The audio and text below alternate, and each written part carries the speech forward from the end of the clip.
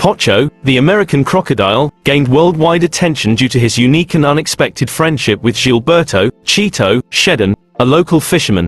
The story began when Chito found the injured crocodile washed ashore in Costa Rica's Parismina River.